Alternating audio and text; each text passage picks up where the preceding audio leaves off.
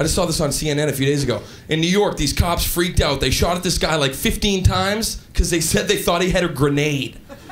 He was eating a pear. How do you fuck that up? Unless he was eating it like, oh! That's a delicious pear!